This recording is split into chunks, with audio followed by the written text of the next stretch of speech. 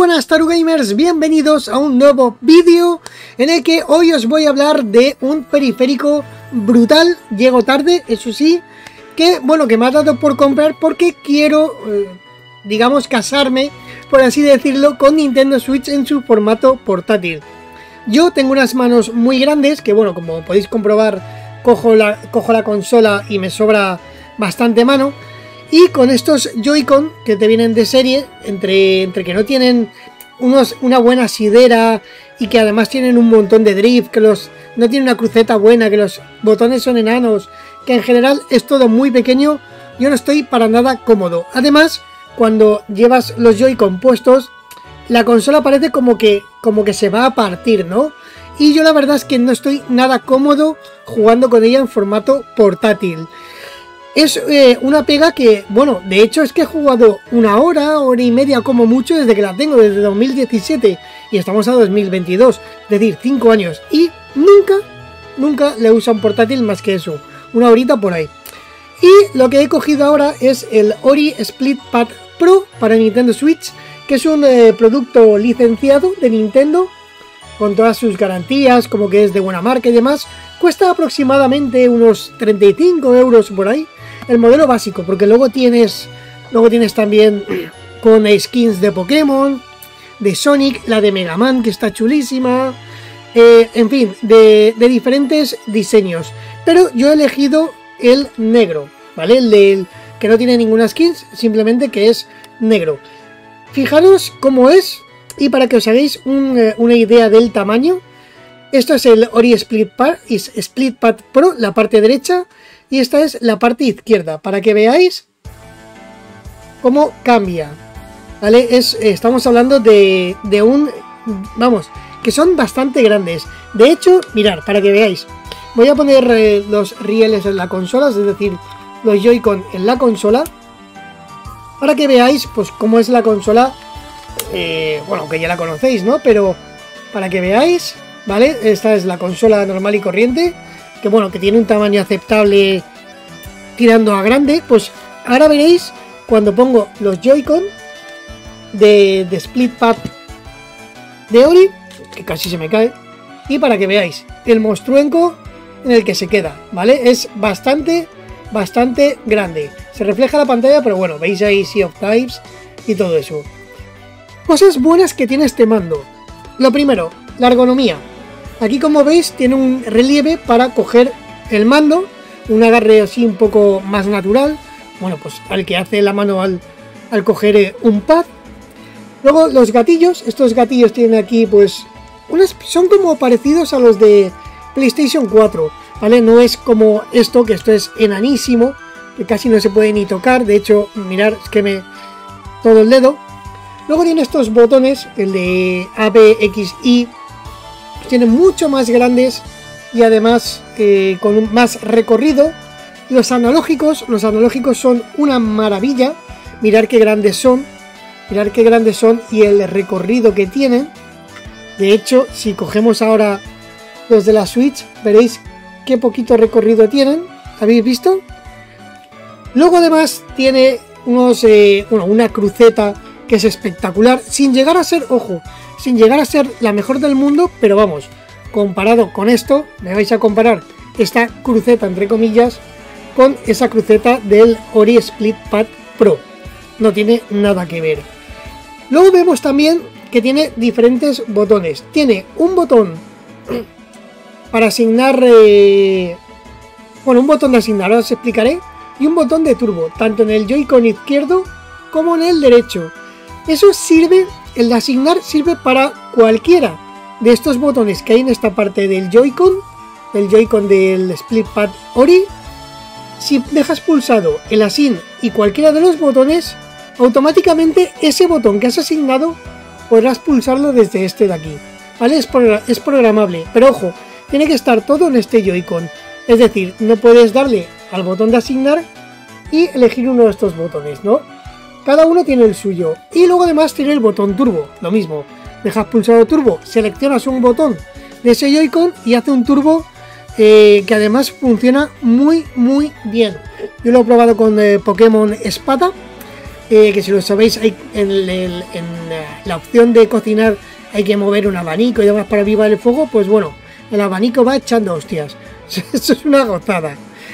Luego, otra cosita que, igual podéis ver por aquí es, son estos enganches, que no llegan a ser enganches, pero esto lo que hace es que, eh, digamos, aquí se puede ver, sirve como de base a la pantalla.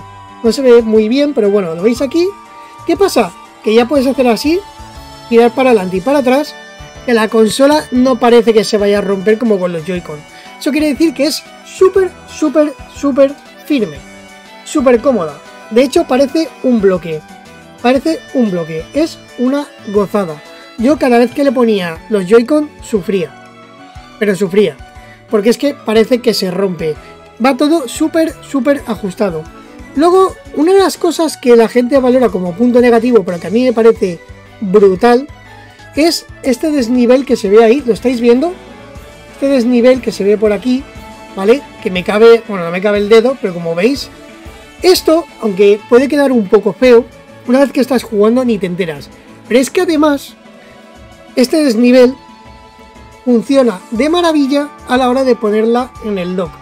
Es decir, cuando vas a meter la consola a cargar, sabes sí o sí que hay que meterla por este hueco que te queda. Es decir, tú no puedes poner este montante, este, este desnivel, encima del, eh, del dock, porque no cabe. Es decir, tiene el tamaño justo.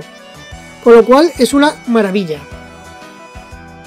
Ahora bien, tiene algunas peguitas. Eh, bueno, como veis aquí también tiene un, eh, un, trigger, un botón programable, ¿vale? Que esos son muy cómodos, pues, por ejemplo, para shooters o para lanzar una Pokéball, que lanzas así sin darte cuenta, ¿vale? Tiene unas cositas, unas pegas que, igual a muchos no os gustarán.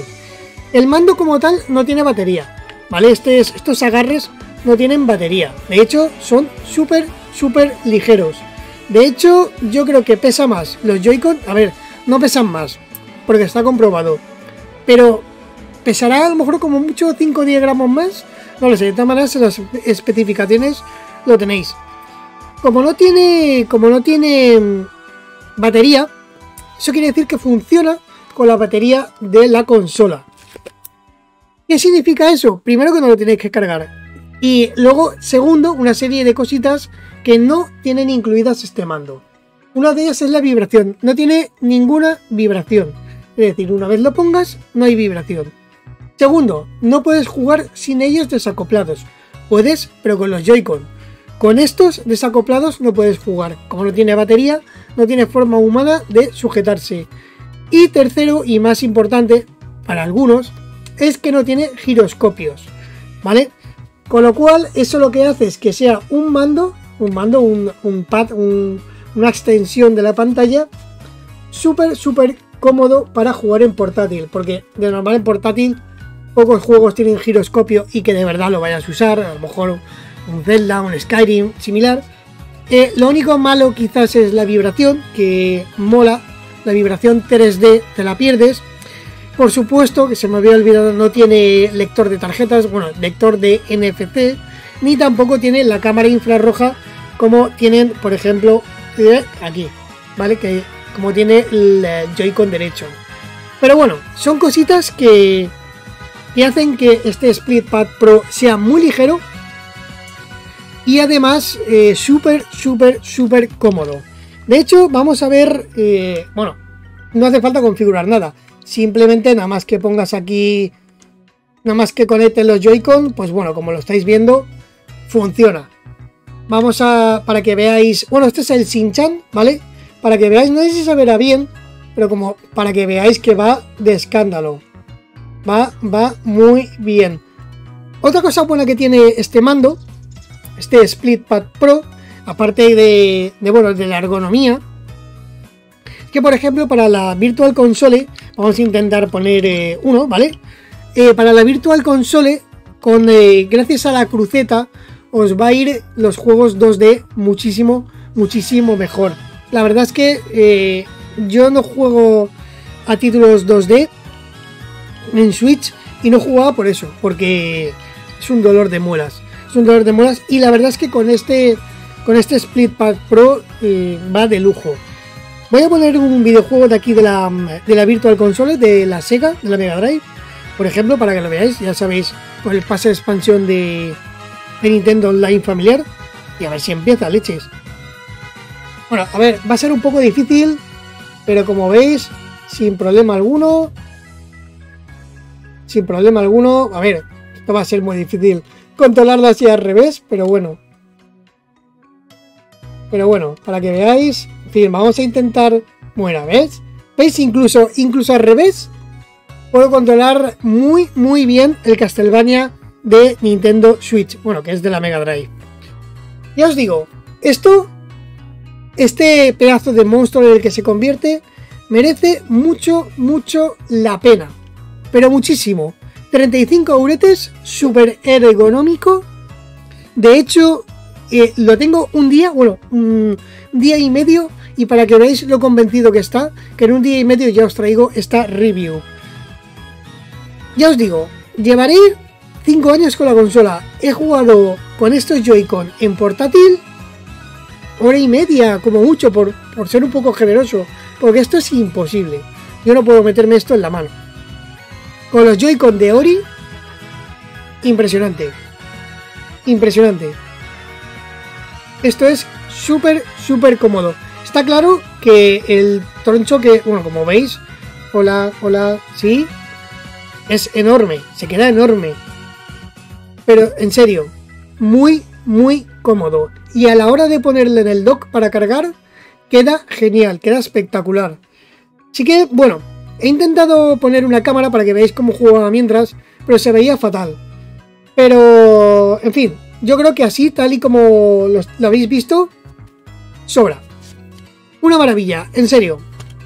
Si no lo tenéis, aunque a estas alturas ya es muy raro porque estos pads salieron muy rápido, si no lo tenéis, si tenéis problemas de drift, por ejemplo, en la portátil, o queréis hacerla, queréis eh, confabular un poco más con la parte portátil de la consola, como yo, que hasta ahora no jugaba, haceros un favor, cogeros este Split Pad Pro. La calidad es buenísima de los materiales, la cruceta y, la, y el stick, sobre todo los sticks, son así un poco duritos, muy muy sensibles, pero muy finos al mismo tiempo.